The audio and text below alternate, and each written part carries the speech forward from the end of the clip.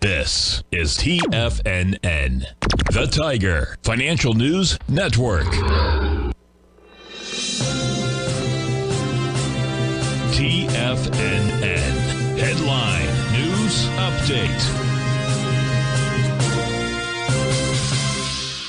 Good morning, everyone. Basil Chapman here, and we're looking on this uh, Tuesday, the 11th of April. We're looking at the Dow squeaking to that leg D that we were waiting for. This is where other things can happen, but the technicals so far are still strong.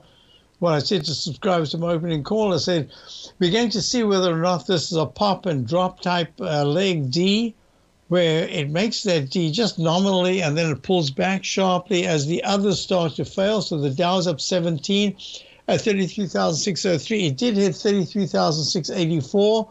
The S&P at this particular point is actually uh, down just a point, but it's down. And that is uh, right now at uh, 4108.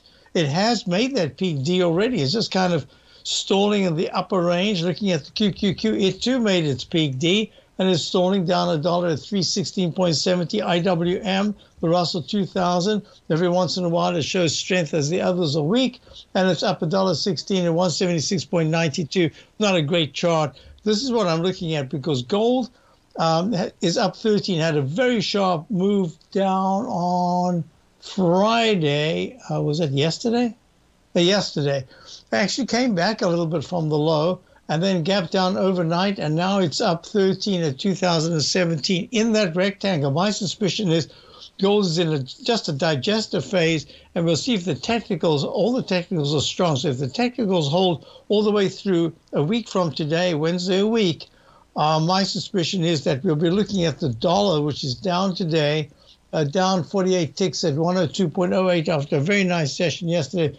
The dollar is going to be testing that 101 to um, 99 area key support. Looking at the bonds at this particular point, the bonds are uh, down a little bit, down 630 seconds at 132 and 1230 seconds. So yields are moving up a little bit. I think they're stuck in a range. Crude oil, this is going to be interesting because crude oil has been, it uses 200 period moving average like a magnet for one, two, three, four, five. This is the sixth session, and it just can't break away from that level. It's up 68 cents at uh, 80.42.